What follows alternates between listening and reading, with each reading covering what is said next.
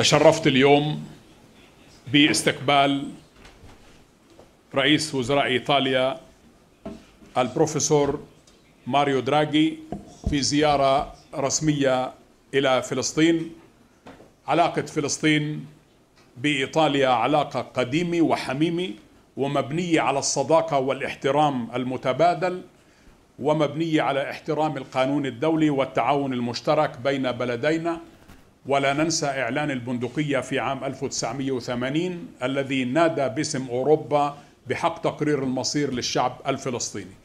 بحثت مع السيد رئيس الوزراء القضايا المتعلقة بالشأن السياسي والحاجة إلى ملء الفراغ السياسي الذي تعيشه المنطقة الآن وأطلعت دولة الرئيس على الإجراءات الإسرائيلية التي تقوم بها الحكومة سواء كان ذلك باجتياحات المسجد الأقصى المنتظمة من قبل دولة الاحتلال وكذلك تصعيد وتيرة الاستيطان والاستعمار وإرهاب المستوطنين وكذلك القتل الممنهج للأطفال والنساء والصحفيين وغيره.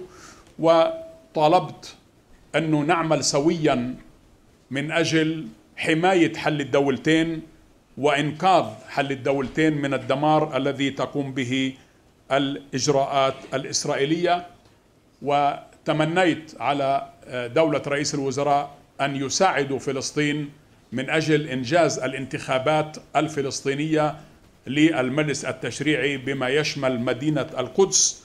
والمهم بمكان أن ايطاليا دولة صديقة وإيطاليا تقدم مساعدات سخية لفلسطين وهذا هذه المساعدات تشمل جميع مفاصل والقطاعات الاقتصادية الفلسطينية واليوم تم توقيع خمسة اتفاقيات بقيمة 17 مليون يورو تشمل قضايا متعلقة بالصحة والسياحة والتشغيل والإحصاء ودعم القطاع الخاص.